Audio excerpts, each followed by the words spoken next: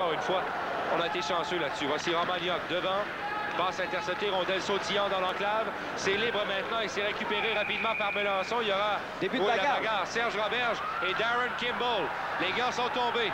Et ça ne semblait pas plaire à Kimball d'engager le combat. Petite conversation, on se souvient, Serge Roberge a marqué le début de carrière de Darren Kimball dans la Ligue américaine. Sont accrochés jusqu'à l'instant. Il n'y a pas eu de coup Non. comme tel de portée. On voit là Serge Roberge qui vient de toucher la cible. Il y a beaucoup de respect entre les deux hommes. À voir l'allure du combat, là, il n'y a pas personne qui veut euh, donner la chance à l'autre. Jusqu'ici, c'est plus un échange du temps Voilà. de tête. Là. Voilà, oh, Serge Roberge Bon, qui là, vient de va. frapper son adversaire. Réplique de Kimball. Roberge encore une fois. Et voilà, c'est à toi, à moi. Passez-moi l'expression. Deux hommes forts qui se connaissent depuis déjà un bon bout de temps. Roberge qui a perdu son casque. Roberge qui tente d'atteindre la cible. Voilà, c'est fait sur Kimball.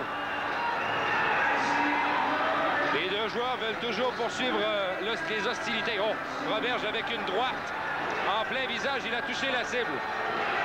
Kimball en a eu pour son argent. là. Toujours.